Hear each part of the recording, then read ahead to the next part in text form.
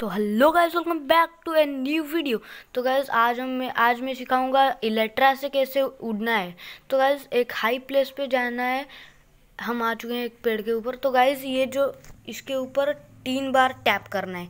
तो गाइस हम तीन बार टैप करने के बाद जंप बटन जो होता है, इसके ऊपर तीन बार टैप करने से हम उड़ सकते हैं इलेक्ट्रा से। तो गैस कैसा लगा ये वीडियो तो गैस आप भी उड़ के बताइए, ये ट्रिक सच है या फेक है?